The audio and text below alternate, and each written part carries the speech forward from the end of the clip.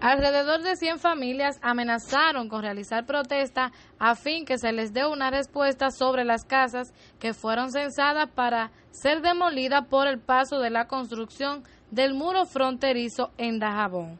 La reacción se produce luego de meses de que sus propiedades fueran censadas y según aducen jamás han vuelto por el lugar a hablar o dar respuestas sobre dónde serán reubicados y si pagarán por sus propiedades.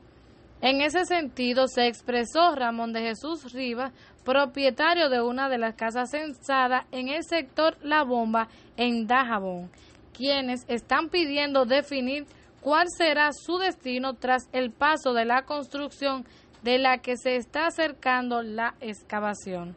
Para N55 Noticias, Josefina Guzmán.